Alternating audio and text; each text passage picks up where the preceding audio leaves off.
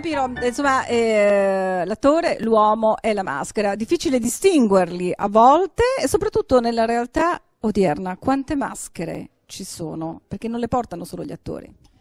Io credo che ormai il mondo sia fatto di maschere. Siamo sempre al Carnevale di Venezia, o di Rio, o di Viareggio, siamo sempre lì.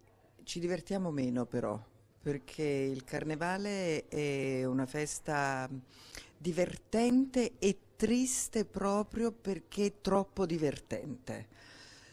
Io credo che almeno per chi non è attore, per chi non svolge questa professione, ormai sempre più difficile, perché noi sappiamo che la crisi è entrata a far parte da molto tempo ehm, anche nello spettacolo, nel mondo dello spettacolo, che di mondo si può parlare perché siamo veramente in tanti e, rischiamo di diventare dei veri Charlot, ma dei veri Charlot, dei veri Trump, dei veri vagabondi.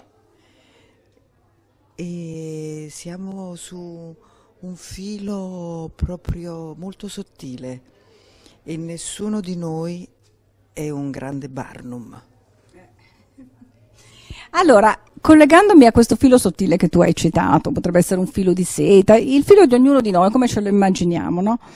Io eh, ti chiedo questo, so che tu in un passaggio, mh, durante una dichiarazione che hai fatto, che è stata accolta anche, oltre che da queste telecamere, da quelle del film, hai, mm, hai, detto che c'è stata una cosa, che di tutte le corde che sono state toccate, di tutti i fili che sono stati mossi, ti ha colpito enormemente ed è il messaggio eh, positività che passa attraverso il cortometraggio. Che cosa ti ha colpito nel e del cortometraggio, oltre l'intensità interpretativa di Vincenzo Bocciarelli che abbiamo visto anche dal vivo? Beh, l'intensità interpretativa credo che sia poi l'idea della regia, dell'ideatore, del, del, team, che è quella di far passare mm, un messaggio quasi di facciamo pace con noi stessi. Stiamo insieme, stiamo vicini, vogliamoci bene, ma non nella maniera più così, insomma, eh, mm, ovvia del termine c'è proprio un bisogno adesso, un bisogno come c'è stato il bisogno di metterci online tanti anni fa e di dire cos'è online, cos'è il web, cos'è Facebook, cosa sono i social. Adesso facciamo i social, io e te, vediamoci, prendiamoci il caffè, parliamo degli amanti, dei fidanzati, dei mariti, di chi non c'è più, di quello che potrebbe essere, eh, di tutto di niente, ma vediamoci. Um, come dicono gli inglesi, we meet, incontriamoci, incontriamoci. Vis-à-vis. Vis-à-vis.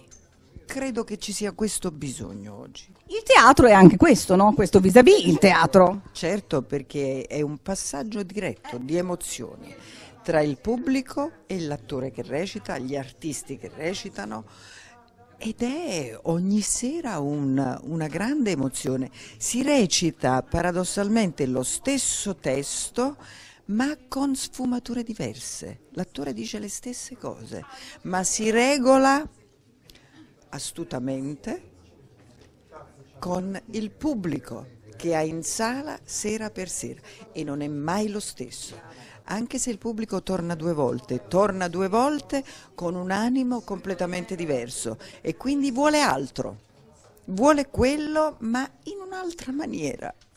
Quindi il messaggio deve passare ma deve essere filtrato da tante cose. E il grande attore è quello che riesce a emozionare. Io stasera ho visto una bellissima prova d'attore, sono molto felice sono veramente molto felice perché oltre ad essere amica da anni di Vincenzo, eh, sono, non vedevo Pierpaolo da tanti anni, ci siamo incontrati sul set di mh, mm, Stefano Reali, una storia italiana, set che ha lanciato Bova, certo, dove certo. io ero protagonista, ero la mamma, già all'epoca facevo le mamme. Insomma. Come non è possibile, non ci credo.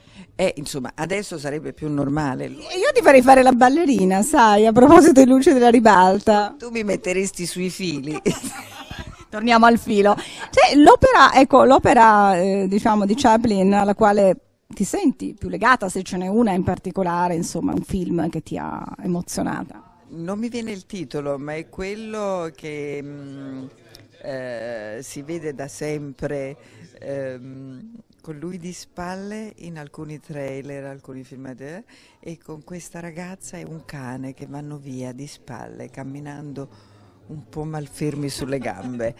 E poi lui mi fa impazzire quando gioca con la palla, quando Hitler gioca col mappamondo e quella è un'idea geniale. Io non so a chi sia venuta, forse gliel'hanno suggerita, l'ha fatta sua, è sua, non lo so, però credo che quello è un gioco che vorremmo fare tutti sotto sotto. E ci piace chiudere così. Grazie mio Piro, grazie.